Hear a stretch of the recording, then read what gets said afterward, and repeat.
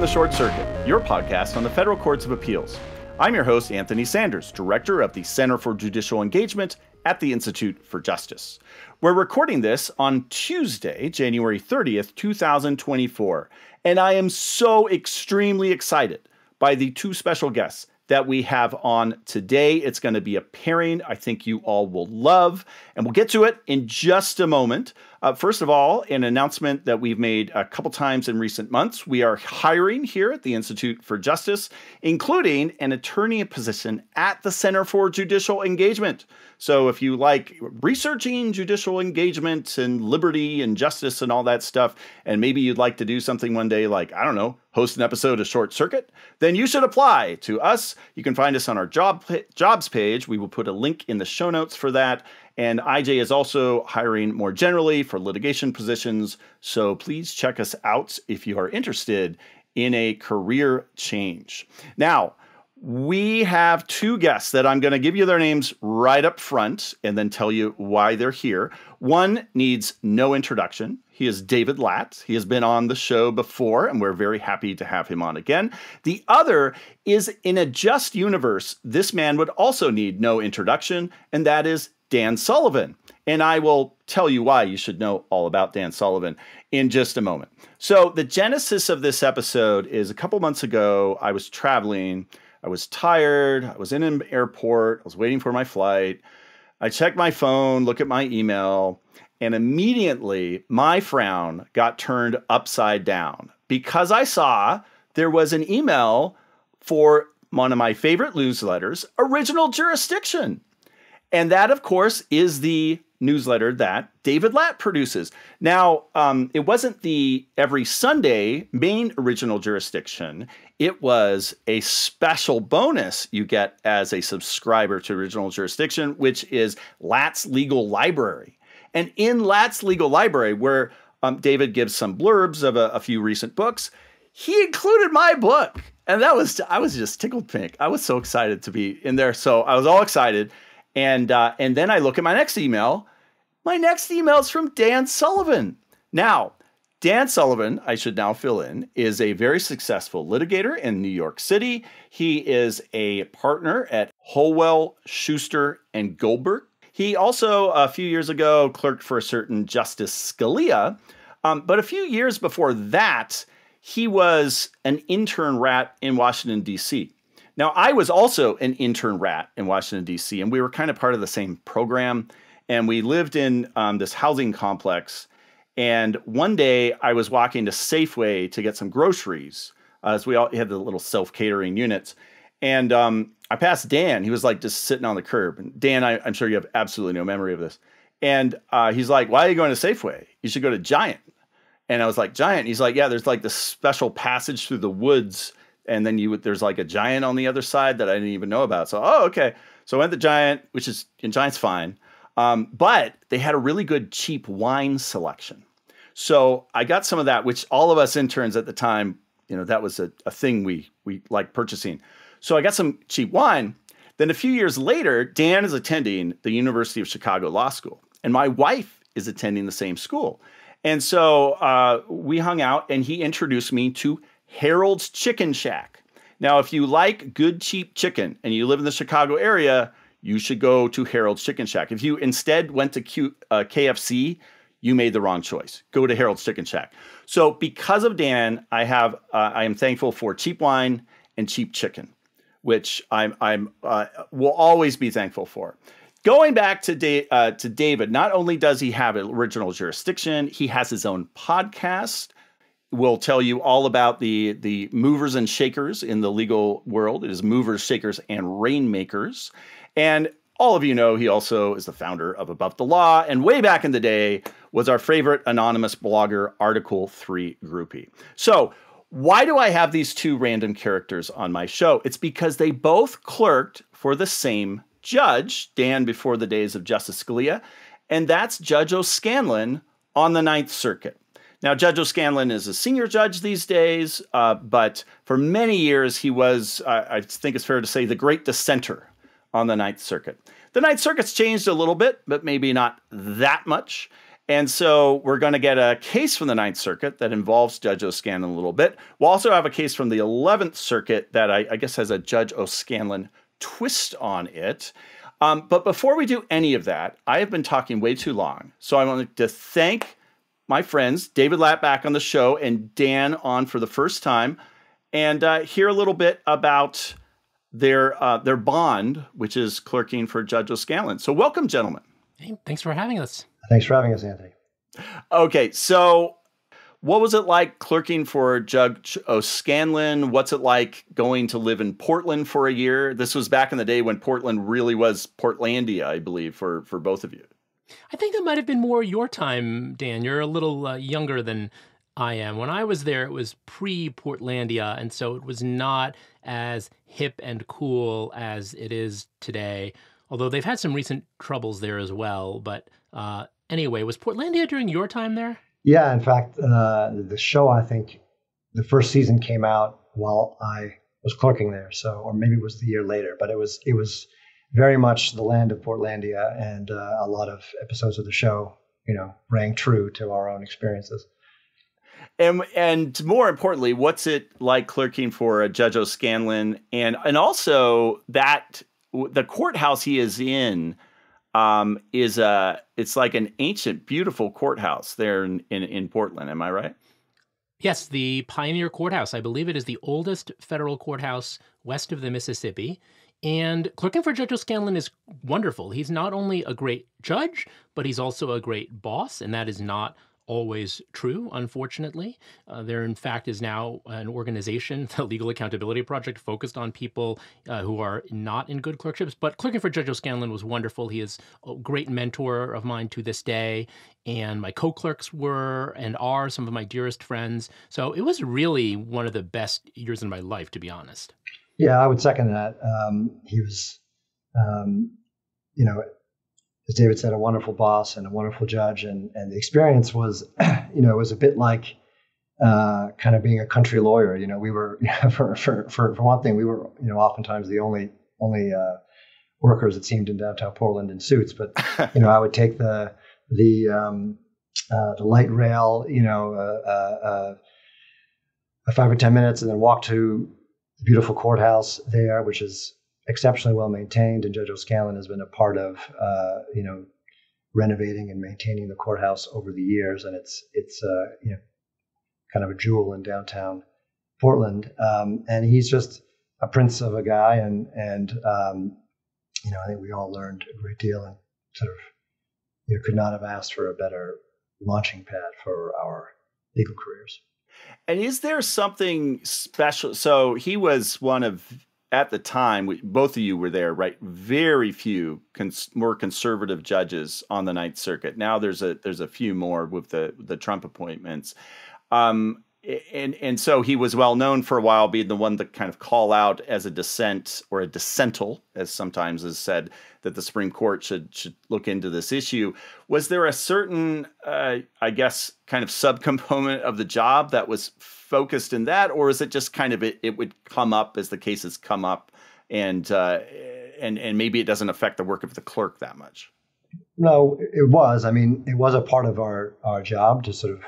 Um, you know, monitor is probably not the right word, but be keep apprised of the decisions of the court as a whole as they came out. Of course, we had your own workload, the workload that the judge had on the panels that he sat on, but part of what we did was to, as I say, uh, to keep abreast of new decisions as they were arising, and you know there might be a petition for rehearing uh, en banc in those cases, there might not, of course, um, but that was sort of a part of our regular activity, and I think, uh, and this will come up a little bit later and um, talk about the case that I'm going to talk about. It, it was p- part of uh, how Judge O'Scannlain saw his role in the court and his job was to to um, you know flag issues that where there were circuit splits or where there was an inconsistency in Ninth Circuit precedent, um, so that uh, if it was appropriate and it was necessary, the Supreme Court could be made aware of, of the case and weigh in, and that would happen with you know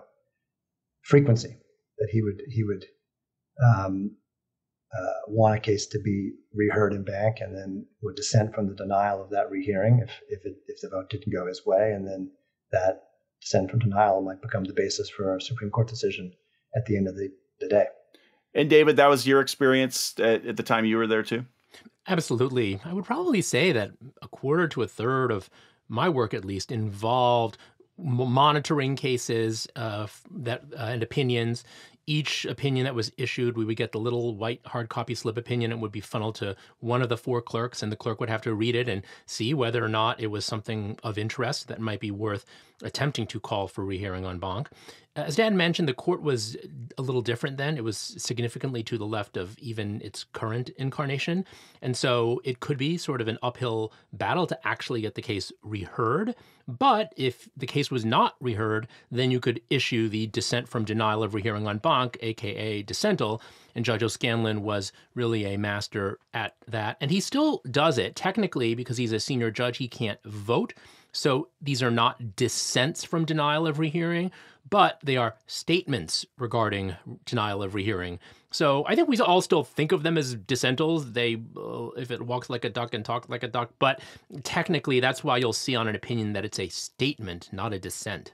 Is there a word that's been made up to say a dissental by a senior judge? Because I have to say, I'm not a huge fan of, of dissental although I, I, understand it's used. We make fun of it some weeks in the newsletter in Short Circuit. But um, you haven't heard of a, a, new word in that regard? I have to say, I did not like it initially, but I have learned to actually like it because it's very functional. And to me, language at the end of the day is about function. And dissent from denial of rehearing en banc is quite a mouthful.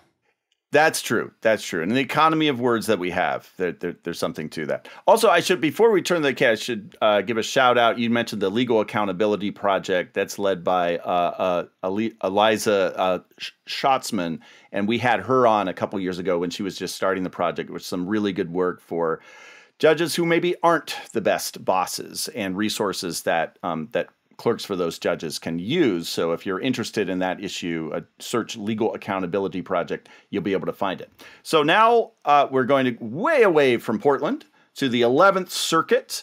And um, we, David, you have a case uh, to tell us about that involves one of our favorite things here on the podcast, which is a Judge Newsom concurrence. Um, but it also involves someone who has been in the news very much lately, although perhaps not so much in the future, and that's Ron DeSantis. Yes, exactly. So I'm going to be discussing the case of Warren v. DeSantis. And this was a case that was in the news quite a bit. It involved Andrew Warren, who was an elected state prosecutor. He was the state attorney for Florida's 13th judicial district. So that's around Tampa, I believe. He's a Democrat. He campaigned as a progressive prosecutor. He was elected to a second term in 2020. But in 2022, he was suspended by Governor Ron DeSantis, who is a Republican and quite conservative. And essentially, uh, there was a dispute over the correctness or legality of uh, Warren's suspension. Um, and he sued under Section 1983, alleging that his First Amendment rights were violated. So let me give a little bit of background that's relevant to the case. He had a couple of policies that became an issue in the case, Warren, the prosecutor. He had a what was called the discretion policy, which essentially says that prosecutors need to exercise discretion in the cases they bring. Uh, I think the progressive slant on it probably means hmm, don't be too quick to pull the trigger on not very serious cases. The second was actually more explicit in that direction. It was called the low level offense policy, and it was a list of offenses or charges that the uh, office would pres- presumptively not bring or prosecute, types of crimes that they would not prosecute. And third was called the bike policy, and this was a non prosecution presumption in cases resulting from non criminal bike and pedestrian violations. And very importantly to this opinion, he adopted all these policies through a specific process. So when Andrew Warren wanted to make something office policy, he would consult his executive committee. They would draft and revise the policy. It would sometimes get outside input. It would be finalized. Managers would be briefed on it. Uh, line lawyers would be trained in it. And it would put, be put in this guidebook of official policies and would be put on their intraweb. In addition to these formal policies, he engaged in certain advocacy. He signed four statements that were put out by a nonprofit organization called Fair and Just Prosecution. And essentially, that is also a progressive prosecutors organization. And the four statements involved capital punishment, election security, transgender care, and abortion. The transgender statement basically expressed, quote unquote, concern about bills targeting the transgender community. And the abortion statement uh, said that the prosecutors would be, quote, committed to exercise their well settled discretion and refrain from prosecuting those who seek, provide, or support abortions, close quote. But neither of these statements, importantly, went through that policy-making process that I described. So, uh, what happened was in August 2022, Ron DeSantis, who was incensed by uh, some of Warren's actions and statements, suspended him. And the governor in Florida has the power to suspend state attorneys for things like neglect of duty or incompetence. And the order issued by Governor DeSantis cited Warren's supposed blanket non prosecution policies. Uh, and he said that that constituted grounds for suspension under the Florida Constitution, under Florida law. It cited the abortion and transgender rights statements that Warren had signed on to. And it also identified those two policies I mentioned earlier the low level offense policy and the bike policy, uh, and also suggested that they involved a kind of a dereliction of duty. And Governor DeSantis appointed a political ally, Susan Lopez, as acting state attorney. And to this day, I believe she is still acting. Um, so what happened was Warren sued under uh, 42 USC 1983, a statute your readers will be very, listeners will be very familiar with. And he alleged that Governor DeSantis suspended him in retaliation for exercising his First Amendment free speech rights. And he asked the court to declare the uh, suspension unconstitutional and require that Governor DeSantis reinstate him. So this went before Judge Robert Hinkle in the Northern District of Florida. That's Tallahassee, so it includes things like the governor's actions. Judge Hinkle held a bench trial and he identified six factors motivating the suspension. And this is a little down in the weeds, but it's kind of important to understanding how the case came out. So, one, Warren's political affiliation as a Democrat. Two, his advocacy for various criminal justice reforms, including the statements. Three, a single statement, a single sentence in the abortion statement that committed to not prosecute abortion cases. Four, the adoption of that low level offense policy and the bike policy. Five, his overall performance as a prosecutor. And six, DeSantis's anticipated political benefit from suspending a progressive prosecutor. So Judge Hinkle concluded that only two out of these six factors were protected by the First Amendment, namely his political affiliation as a Democrat and his advocacy for these certain criminal justice reforms. And ultimately, Judge Hinkle concluded that Governor DeSantis would have suspended Warren anyway, based on two unprotected factors, namely his performance as a prosecutor and DeSantis's anticipated political benefit. And when he refers to anticipated political benefit, this refers to things about how, for example, Governor DeSantis is always condemning uh, wokeness and progressive prosecutors and things like that. And his recently concluded presidential, or I should say technically, his suspended presidential bid sort of revolved around some of these types of issues. So, on appeal, the 11th Circuit, in an opinion by Judge Jill Pryor, no relation to Chief Judge Bill Pryor, uh, concluded that Warren engaged in protected First Amendment activity, that he suffered an adverse action, namely his suspension, and there was a causal connection between the two. And it concluded that Judge Hinkle committed error in two ways. First, by concluding that the First Amendment didn't protect Warren's support for that sentence in the abortion statement I mentioned about not prosecuting abortion cases. And second, uh, Judge Hinkle uh, erred in uh, concluding that the First Amendment didn't preclude DeSantis uh, from suspending Warren to gain political benefit. Because you can do something for political benefit. If it violates the First Amendment, it is still a problem, uh, even if other things that don't violate the First Amendment can be done for political benefit without a problem. So, technically, what the 11th Circuit panel did is it remanded for the district court to reconsider whether DeSantis would have made the same decision based solely on one, Warren's performance, which is an okay factor, and two, the office policies I mentioned, the low level offense policy and the bike policy. And in reaching this conclusion, the panel concluded that the First Amendment protects Warren's signing of the transgender care statement and the abortion uh, statement. There's a lot of very interesting stuff for people who are sort of, who like me and you are sort of First Amendment junkies. There's a discussion of cases like Garcetti and Pickering and all of that uh, good stuff. Um, but in the end, uh, really, Judge Hinkle just has to redo the analysis on remand. Reading between the lines, it sounds like uh, the panel is kind of nudging him to rule in favor of Warren, but we shall see. I think see. it's a pretty hefty shove, but you could call it a nudge. Yeah, exactly. um, sometimes, you know, they won't say it outright, but I'm trying to think. Um, you know, there was a case that we actually considered as as a possibility for today's discussion, the the Second Amendment Instagram ownership opinion by Judge Michael Park, and that too technically was a remand to reconsider. But uh, you know, if the judge can read the writing on the wall, it's going to go a certain way. Um, so there isn't a, an O'Scannlain connection to this. Judge Kevin Newsom wrote a concurrence in this case. He went into the political considerations a little bit more and talked about, for example, in the opening paragraph of his concurrence, Governor DeSantis' presidential bid. But he emphasized in his concurrence that Warren's comments on transgender and abortion issues were never turned into policy. That was in the majority opinion too, but uh, or I should say, the opinion of the court, because there were no dissents. But uh, Judge Newsom really, really stressed this. And then I'll just conclude by reading this one paragraph that I think is a great paragraph of his. Uh, this is Judge Newsom. The First Amendment is an inconvenient thing. It protects expression that some find wrongheaded or offensive or even ridiculous. But for the same reason that the government can't muzzle so called conservative speech under the guise of preventing on campus harassment, the state can't exercise its coercive power to censor so called woke speech with which it disagrees. What's good for mine is, whether I like it or not, good for thine. And that really sums up why I like this opinion so much. It shows that the First Amendment is not this partisan issue. You had Jill Pryor, an Obama appointee and one of the more uh, liberal members of the 11th Circuit, joining with Judge Newsom, a Trump appointee and one of the more conservative members of the circuit. The third member of the panel was Judge Anne Conway from the Middle District of Florida.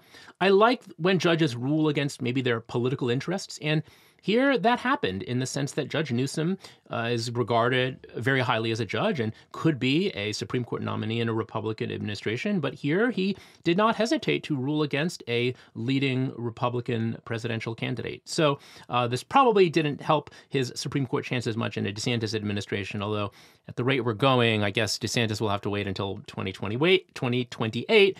And by then, you know, Judge Newsom's going to be a little older. I don't know, but uh, we shall see. So, anyway, that's the case I selected. And I think for folks who are interested in First Amendment and politics and all of that, it's well worth reading.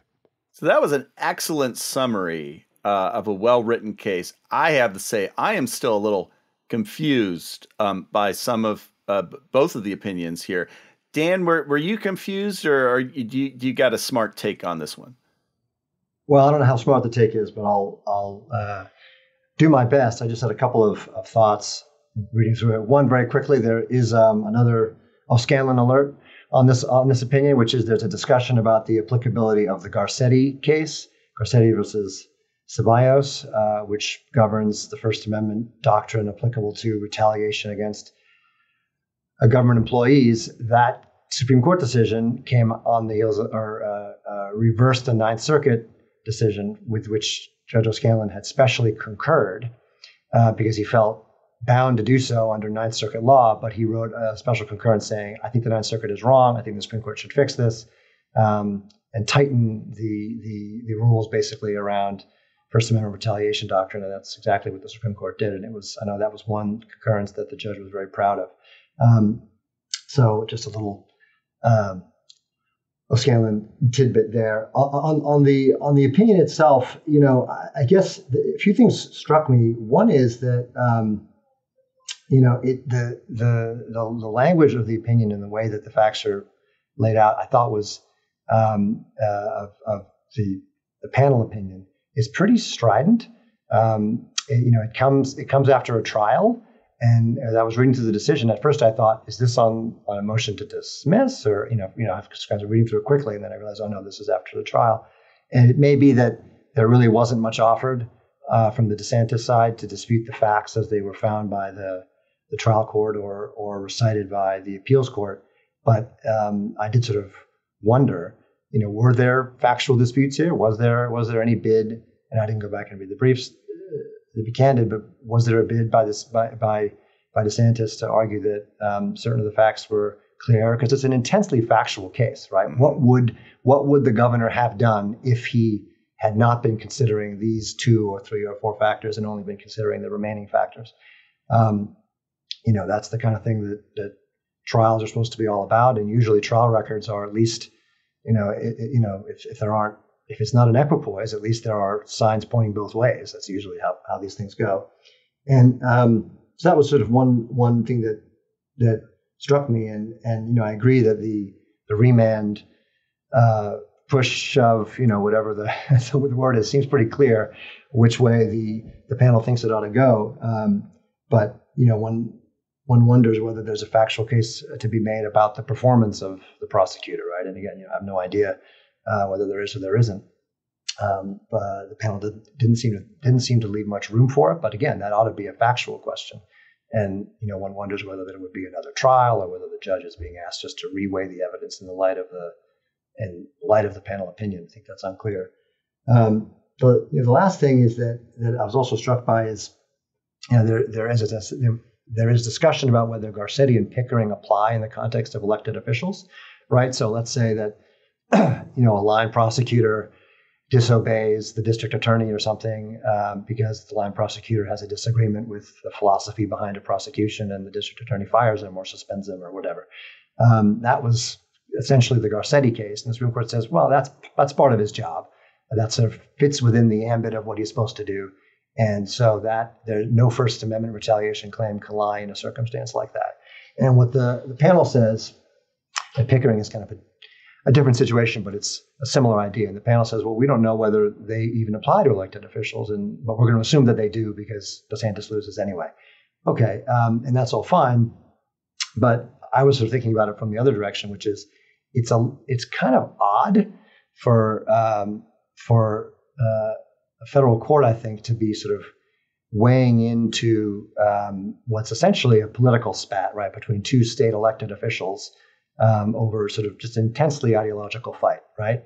And um, you you one might wonder whether when you have two elected officials sort of you know taking pot shots at each other and maybe using whatever levers of power state law affords them, um, it, it, it's really a, a, First Amendment case at all. And I was trying to think of uh, parallels, like you know, if the president vetoes a bill by uh, you know, that's, that's, passed by both houses of, of Congress because, you know, uh, not because he dis- disagrees with the bill as a matter of policy. He just doesn't like the the fact that it was passed by majorities of the other party. He just doesn't like it.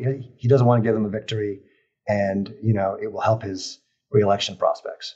Is that he's allowed to do that? He's allowed to veto for any reason or no reason, I suppose. Or you know, if there's an impeachment, which there is right now, or uh, articles of impeachment um, with respect to uh, the Secretary of the Department of Homeland Security, can that be challenged under Section 1983 if it's decided or if there's a case to be made that it's not based on the policy decisions the Secretary took, but because of what he ideologically represents or his political profile or you know something else?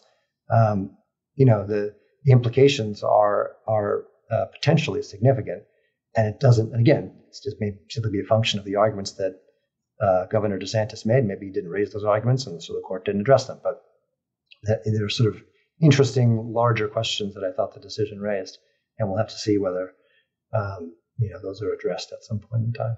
David, do you find some of those kind of current undercurrents there that, that Dan's identified?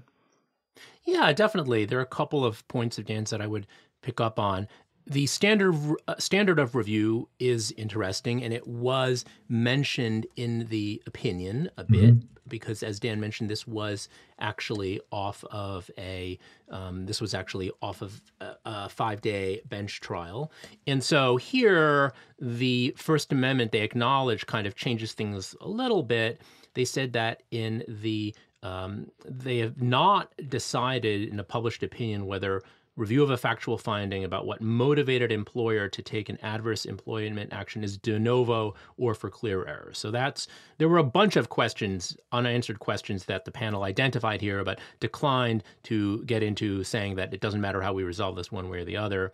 Then, second, they pointed out that whether the First Amendment protects a particular activity is so they drew this distinction between constitutional facts and historical facts. Constitutional facts are reviewed de novo, historical facts for clear error. And they said here whether the First Amendment protects a particular activity is a question of law that is reviewed de novo. So I think that this had a very de novo-ish flavor here. Right. Um, because even though there were various factual disputes, uh, for example, there was a whole dispute over how DeSantis went about, or the DeSantis administration went about researching which prosecutors it was going to suspend and the versions of the order before it was finally issued and all of that. At the end of the day, I think the constitutionally relevant facts were fairly straightforward. The other point I would make to, uh, in, uh, in response to Dan's comment about the political nature of the spat. I do agree that federal courts would normally be reluctant to inject themselves in this. But look, uh, 1983 is there, the First Amendment and the 14th Amendment are there. And one thing I would mention, just for people who are used to the federal system, is the Florida Constitution uh, cabins the governor's suspension power. It has to be for enumerated reasons. These are elected officials who are who do not serve at the pleasure of DeSantis. So it's not really correct to say, oh well well, you know, this is kind of like whatever, at will employment or something like that. He is a duly elected state official, and the Florida Constitution says he can be fired only or suspended only for specific reasons, like neglect of duty and malfeasance. So if you kind of think, well, the president can get rid of an agency head or a cabinet member because they have policy disagreements, fine, but that's not the case here. This is under Florida state law. Yeah, that's a part of the case that really stood out to me, uh, being the, the the state constitutions nerd that I am. That this is this is an example of the the sometimes frustrating uh, split executive that we have at the state level. So we're very used to the unitary executive at um, i mean even people who don't agree with the unitary executive like doctrine or whatever you want to call it at the federal level recognize the president has pretty wide authority. And so you have like independent agencies that maybe those people can only be fired for certain reasons and that's a big spat going on you know right now. State level it's nothing like that and so you can have executives above executives but then exceptions to their executive power which you have here which to me kind of meant like i agree with the the, the court to some extent that, that this case law it's like a, a, a square peg in a round hole it just doesn't kind of makes sense. But also, so that also calls to me the very last footnote in the case, the last um, yes. footnote of of the concurrence of Judge Newsom's concurrence. He says that the trial judge got into the state law issue, um, which is you know whether it was uh, the reasons that you mentioned, David, whether it was an okay firing under those exceptions or a suspension, and you don't, you, you, you shouldn't have gone there essentially. Whereas I see it, the state law issue could mop all this up without even having to worry about um, the First Amendment. And maybe you know, often I, I, I like getting to the, the, the the federal constitutional issue and have that taken care of. But here, it's just such a different situation with kind of no guidance in the in the case law that maybe that should have been more part of it, or or at the least, you need to know that framework in order to then decide, okay, how does the First Amendment um, apply? Because it's it's just it's not the normal kind of president, press secretary. You know, that's the ultimate example. Is the press secretary comes in the White House and says, "I think what the president did yesterday was terrible." Well, that guy can be fired, fired, and there's no First Amendment violation. Very different situation here, where you really need to know what the state law means before you even get into that. Right, and I mean, I was going to say something similar, and I think uh, Judge Newsom's the last footnote of Judge Newsom's concurrence is very interesting. Um, you know, whatever the state law provides in terms of the um, the standard that DeSantis, uh, the governor, has to meet in order to, you know, uh, to support the suspension of the prosecutor as a matter of state law. That's not what the federal court is addressing, right? Um, I mean, there have been right. fights in the past in state courts about whether or not a governor can intervene in in what a, an elected a district attorney can do. There was a fight like that in New York during the Pataki administration over whether or not Pataki could supersede the um, offices of district attorneys who refused to um, uh, to bring death penalty cases. Uh, and ultimately, the New York Court of Appeals upheld the governor's ability to do that as a matter of New York law. So there are fights like that, right? And there are all these complex webs of how the governor interacts to other executive officials under state law. But um, again, you know, it, it, it, may there there are oh, there are areas of state law that are areas that are primarily governed by state law where there's a federal constitutional overlay. It's kind of like, well, you can do this under state law, but if you go so far, you know, uh, then that's going to be sort of uh, uh, it's it's not a it's not a, a good faith use of state law. You think about like Bouie versus City of Maryland, for example, uh, in in the due process context, or you know, there's an interesting, um, perhaps in October term 2009, for example, of opinions around the the uh, nascent doctrine of judicial takings. Right, at what point does a judicial construction of state law, state property law, amount to a taking under the federal constitution? So there can be sort of like you went too far under state law, and that then you've now wandered off into some federal constitutional problem. Um, but you know, it, it's the, the, the the opinions again for what are probably a function of the briefing and how the case was postured and the like just didn't get into that, but those sort of issues are lurking in the background. Dan, you seem to be hinting at a case that maybe you knew something about, but I'm not going to go there. Uh, uh, OT uh, 09. And instead, we're going to go cross country so we just talked about a culture war issue, woke prosecutors, reform prosecutors, whatever. Now we're going to talk about another culture war issue that none of us even knew was a culture war issue until a few months ago, and that's gas stoves. So that's I guess right. the city of Berkeley was way ahead of everybody about this gas stove thing. So this case came out originally last May. So some of you may be, oh yeah, I remember hearing about this and a Ninth Circuit case about gas stoves in Berkeley. Um, but then it, it, there was a call to, there was an attempt to go en banc. and then the denial en banc was just a couple weeks ago. So that's kind of the the further version of the case that we now have, and that Dan's going to tell us about. That's right, sure. So um, this is California Restaurant Association versus the City of Berkeley. Um, you know, the staid uh, retrograde, retrograde city of Berkeley, California. Um, and uh, it is a case that, as you say, is sort of is ostensibly about the hot button issue of whether to ban gas stoves in the name of mitigating climate change and uh, protecting public health. In in fact, so ostensibly about that, but in fact is about the vagaries of federal preemption doctrine. And most recently, with the uh, rehearing opinions, raises what I also want to talk about, which is the nuances of the en banc process and how the circuit courts manage their precedent. So awesome. this might be an instance of lawyers making fun stuff not fun, but uh, we'll see. We'll see, we'll see how we go. Um, so okay, um, so Berkeley adopted an ordinance essentially prohibiting what they call natural gas infrastructure, basically the piping that goes from the point of gas delivery to the building to the the apartment where you install your gas stove. Um, so they're not saying you can't. They're not saying you're not allowed to uh, install a gas stove. They're saying the building can't have any piping that would allow you to install a gas Completely stove. different. Getting the same result. Completely different. Um, so the California Restaurant Association, and this was you know, applied to new buildings starting January 1st, 2020. So the California Restaurant Association, uh, because this applied to uh, commercial buildings as well as residential buildings, sued the city, claiming that the ordinance was preempted by uh, uh, everybody's favorite federal statute, the Energy Policy and Conservation Act, uh, the EPCA, uh, which until looking at this case, I have to confess I had never heard of. um, uh, but I'm confident that it is it is protecting us every day. So the district court um, uh, Judge Rogers up in the Northern District of California granted a motion to dismiss the federal preemption claim. There are some state law claims as well, which then she declined to exercise supplemental jurisdiction over. Um, and she held that the Berkeley Ordinance does not facially regulate or mandate any particular type of product or appliance, and that uh, and therefore wasn't preempted, and that its impact on consumer products is uh, quote at best indirect. So that's essentially what she held. It's an appeal to the Ninth Circuit. It goes before the panel which is Judge Patrick Bumatay, uh, uh, recent appointee um, President Donald Trump. uh, our former boss, now senior judge O'Scannlain, and um, Judge M. Miller Baker of the Court of International Trade sitting by designation. So that was the panel. In April of 2023, the Ninth Circuit reversed, um, holding that the EPCA preempts the Berkeley Ordinance. Judge Bumatay wrote the decision.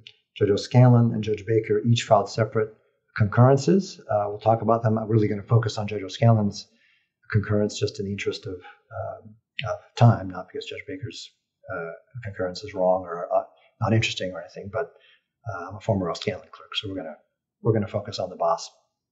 Um, and uh, then, as you said, Anthony, just after the new year, uh, the Ninth Circuit denied a petition for rehearing en banc over the dissent of uh, 11 judges in total. So Judge Friedland uh, uh, wrote a lengthy dissent joined by Chief Judge Murguia and Judges Wardlaw, Gould, Koh, Sung, Sanchez, and Mendoza. That was the, the main dissent. And then Judge Berzon, joined by Judges Paez and William Fletcher, wrote a sort of very, very short, separate kind of Me Too. Um, uh, so quite a few dissenting judges overall. Quite a few dissenting judges overall. Yeah, that's right.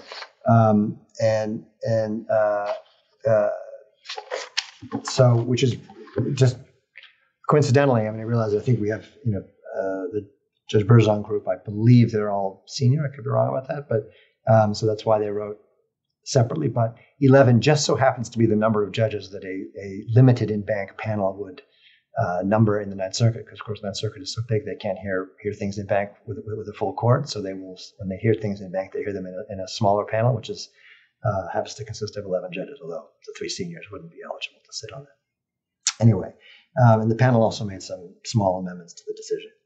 So, um, just quickly through through uh, the holding of the decision. I mean, the factual background is pretty straightforward, and this, as I say, came up on a motion to dismiss. Um, there was a little spat about whether the California Restaurant Association had associational standing. I'm going to pass over that. Um, uh, uh, everybody agreed that they do. Uh, Judge Baker's concurrence spends a little time on on some of the nuances, but as I say, I'll pass over that. So the court uh, uh, addressed the preemption question and held that the EPCA does preempt the Berkeley Ordinance. Um, and I think to sort of appreciate some of the interesting nuances in the analysis, you have to hear the statute. So the EPCA says, in relevant part, except as provided in certain sections, not relevant and effective on the effective date of an energy conservation standard established or prescribed by the agency under another statutory provision for any covered product. No state regulation concerning the energy efficiency, energy use, or, or water use of such covered product shall be effective with respect to such product unless the regulation meets certain conditions which the Berkeley Ordinance did not meet. Um, so the question was what the scope of that express preemption uh, provision is. And for preemption nerds out there, and I know there are some. there are dozens of you guys.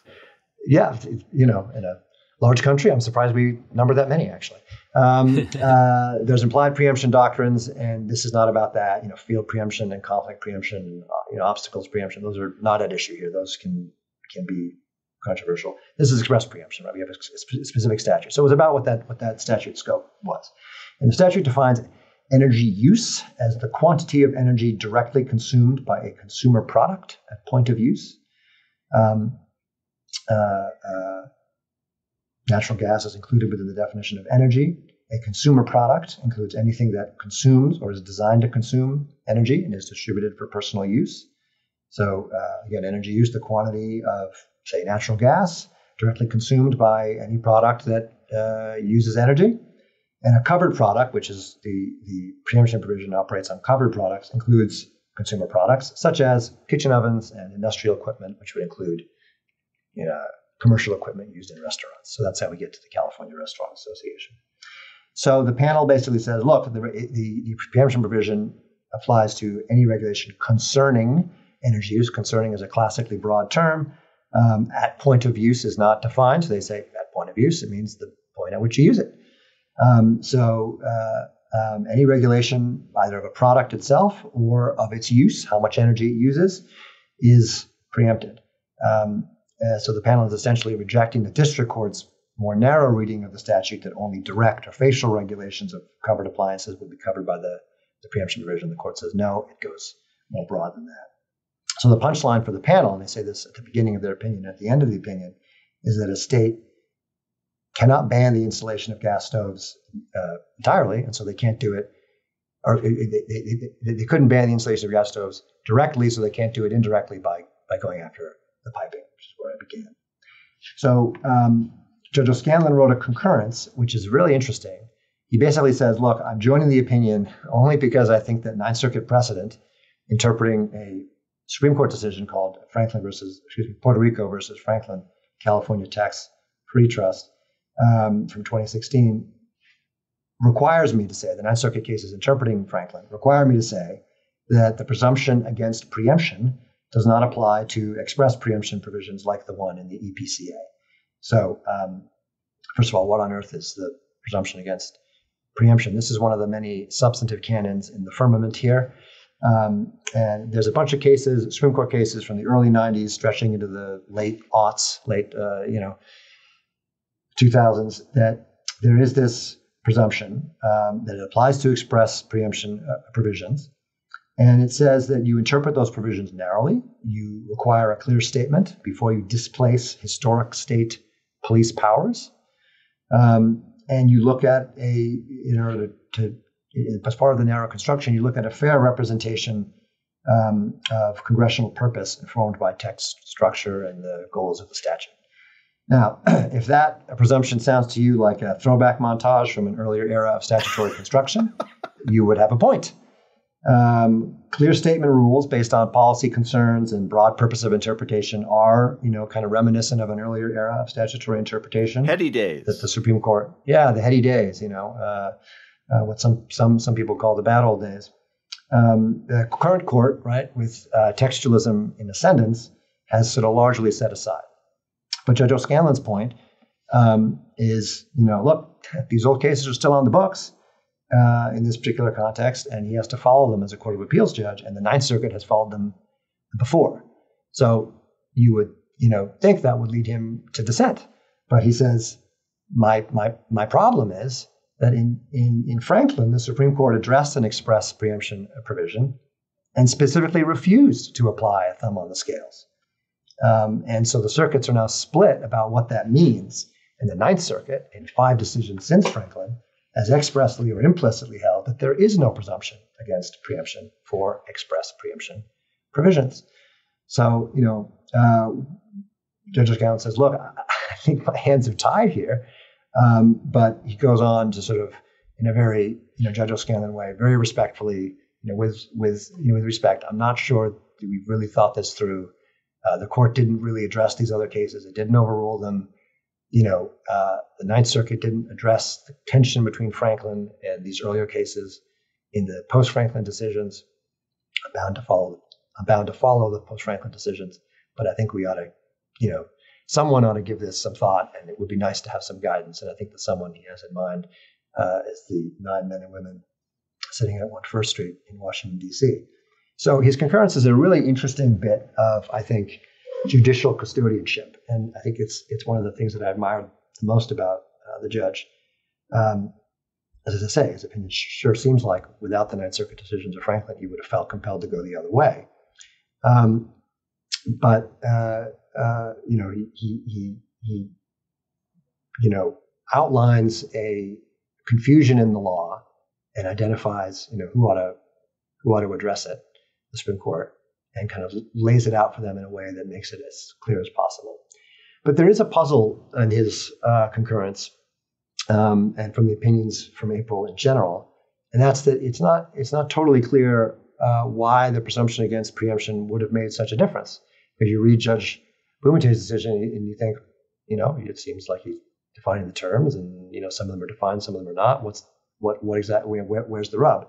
And I think the Friedland dissent from uh, denial of the bank kind of answers that question because she lays out, I think, very helpfully, um, sort of the other side of the argument. She says, look, the statute uses terms that, although they're not defined, in the statutory context have technical term of art type meanings. So she says energy use and point of use um, have to do with how much energy an appliance, you know, sort of an, an appliance is uh, is made to expend. It's not about how much the customer uses. You know, if the customer uses no energy or a lot of energy, that's not what it's regulating. It's regulating, you know, what is the energy efficiency and the energy use that the appliance, according to its specifications, will will expend, um, and that that would then, you know, tend to uh, narrow the scope of the express preemption provision. So that's a reasonable alternative construction. I think that's the reasonable alternative construction that Judge O'Scannlain was worried about and had in mind. Um, and you know, the contextual evidence for it is real. I mean, it's a, there's a, there's an honest to goodness debate to be had there, and um, uh, so it may be that the the, the applicability of the presumption um, has, has you know has a lot to do with how the decision or how the case is resolved. So you know, um, real quick, what's sort of interesting about the case, you know, I think it, it, it, draws some interesting fault lines on how to use the en-banc process. You know, Judge O'Scannlain himself, as we said, has been a long time uh, believer that the en-banc process is a valuable tool, both to fix circuit precedent that is confused and to draw the Supreme Court's attention to bad law. Here, he, he's a senior judge, so he can't vote anymore, but he recommended against going en-banc. Um, uh, but he wrote a concurrence that sort of spotlights the issue. So one wonders why not why not vote to go en banc? And I think the answer is in his concurrence, where he explains there's already a circuit split on this issue. So you know there's only so much the Ninth Circuit can, can do en banc. Uh, it can't it can't fix the split with the other circuits. So it's destined to go to the Supreme Court anyway. Might as well flag it, you know, as as uh, clearly as he can and uh, try to get some help from upstairs. And that's a sentiment I know he's expressed in the past. Um, and so that's one reason. And another interesting thing about the case is it raises questions sort of about the duty of lower court judges to follow Supreme Court lines of jurisprudence that have sort of fallen into either desuetude or disrepute or whatever. Um, and you know, Judge O'Scannlain says, look, as long as they're still alive, you know, you're supposed to follow them. Um, and so there's an interesting point to be made there about sort of the orderly handling of precedent, particularly you know among the judges in the um, in the circuits. Uh, and there's sort of underneath all that, or maybe above that, I don't know, is the question of substantive canons themselves, which has become a hot topic. You know, Justice Barrett wrote a really interesting concurrence in the uh, West Virginia versus EPA case about what substantive canons mean, what their what the, the basis for them is from a textualist perspective. Is this one like the substantive canons that the court has endorsed more recently, like the canon against uh, or the presumption against extraterritorial application or retroactivity, or is it more like sort of more obviously policy laden um, presumptions? Uh, and that's a that's you know an interesting question how the court will separate the wheat from the chaff. Um, and you know the bank dissent I think raises really interesting questions as well about kind of how to read statutes contextually. You know what's what's appropriate context versus sort of an over literal reading. Um, and uh, I think that opinion, coupled with Judge O'Scannlain's concurrence, uh, nicely teased the issues up for the Supreme Court if the court is, you know, inclined to hear the case. David, you've been in the uh, the clerk's chair by uh, Judge O'Scannlain in, in similar matters. Uh, do you do you read the the playbook the same way as Dan here? Yes, I agree. I think it reflects a lot of Judge O'Scannlain's traditional concerns. He wants to help reconcile and to clarify the law. Judge Newsom often writes opinions like this, where he identifies a fault line or a confusion or some disarray and identifies possible ways to address it. So I think that's what's happening here. So I could definitely see the Supreme Court taking this or a case like it for a couple of reasons. One, it factually does involve this hot button political issue of gas appliances, which is on my mind recently because we recently had the gas company come because we got a generator and they have to upgrade our meter and change some piping and stuff like that. And I guess this would not be uh, kosher in Berkeley, but we don't live in Berkeley. Um, so, one, it involves this very salient, controversial political issue. But two, it involves an issue that is actually doctrinally important, this issue of preemption, and uh, it it's sort of a trans-substantive issue. There are many areas of law where preemption is important. For example, ERISA, the uh, Employee Benefits uh, Retirement Income Statute, uh, preemption is is a recurring issue. And so it's an important issue and it keeps coming up in different areas of law. And if the precedents of the Supreme Court are not clear, you would think that the court might want to do something about that. And in another sign of its importance, Judge Friedland, in her opinion uh, in a footnote, or maybe the opening paragraph in a footnote, says, I've been on this court for 10 years. I have never uh, written a dissental. And she kind of throws shade at them, saying, I don't know if they're really helpful to our decision making process. She cites an article by Judge Berzon to that effect. But she said, Here, I really feel compelled to write in. And so that suggests that this issue is very important to the Ninth Circuit and to the country in a way. I can imagine lots of municipalities around the country, whether it's uh, Cambridge or certain parts of New York City, uh, that might want to go after gas appliances. And then you do have to uh, address this issue. So it'll be very interesting to see what happens next in this case. This is going to be, I mean, if it does go to the Supreme Court, I think this would be really interesting, especially when people who actually know the the kind of the minutia of this doctrine like like you guys do and I do not so much versus how the media is going to try to, to to frame this case because of course there's so many cross currents with the usual ideologies here. There's this the new weird gas stoves are bad kind of left right divide but there's also the the the the dislike of preemption by so many conservative judges. I mean, especially Justice Thomas, who I know has had problems with uh, preemption jurisprudence over the years. And then there's the uh, the the old the the new kind of textualism versus the old purposivism and how that works with textualism, how that works with preemption. So, uh, watching all those parts come together at the court would be really fascinating and hopefully you know after realizing a little bit of what's going on the the the, the kind of cultural war stuff would be more in the background and and the court could get get to some serious issues that aren't just going to affect gas stoves in in in these super blue cities but are going to affect all kinds of things like you say employee benefits and you know a bunch of statutes that maybe some of us at the institute for justice think are unconstitutional under the commerce clause. But once you say they're constitutional they can do all kinds of things versus city and, and state laws. That's right. So it's interesting in terms of this balance between federal and state law, sort of behind the veil of ignorance, you don't necessarily know issue by issue whether you favor the federal side or the state Absolutely. side. So, for example, take the issue of immigration, where Texas is right now fighting with the federal government over Texas's use of this concertina wire to help keep out migrants. The federal government is saying, hey, it is our responsibility and our duty and our power to control the border, so Texas back off. Whereas Texas is saying, hey, well, you're not really doing your job, so we're doing it for you, in essence. So it's just interesting. Sometimes, as a liberal or a conservative, you might favor federal power on one issue, or you might favor state power in another issue. It might depend on which state you're talking about. So um, this is an important issue, even if it doesn't have an obvious ideological valence. Yeah, it's almost like this is this is one of those cases where uh, uh, you know the methodological and the ideological are are are um, put at, at, at, potentially at odds, um, and and um, you know because the issue cuts across so many areas and because it touches on so many methodological disputes. I mean, like I said, substantive canons and textualism. And, and well, I'm glad we got acro- uh, got to cut across so many areas today with our two wonderful guests. So thank you, David.